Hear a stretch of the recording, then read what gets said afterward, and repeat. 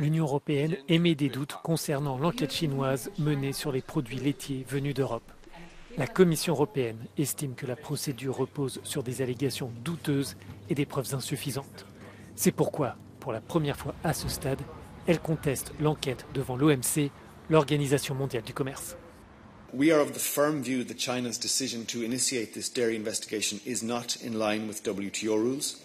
So we are therefore taking action to protect our industry le secteur laitier européen est une victime collatérale des tensions commerciales entre l'Union et la Chine. Pékin a lancé fin août son enquête, quelques heures après la confirmation par la Commission qu'elle imposait de nouvelles taxes douanières sur les véhicules électriques chinois. Les professionnels européens se disent victimes de cette discorde. Hostage, in trade tensions that are completely unrelated uh, with milk and dairy. Um, that's why we, we really insisted in the Commission to help us here. And uh, it's not the first time that dairy is taken as a hostage.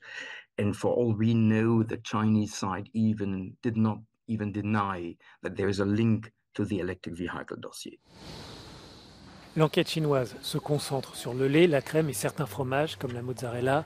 Ce n'est pas la première fois que le secteur se retrouve piégé dans une bataille commerciale entre l'Union européenne et d'autres puissances comme les États-Unis.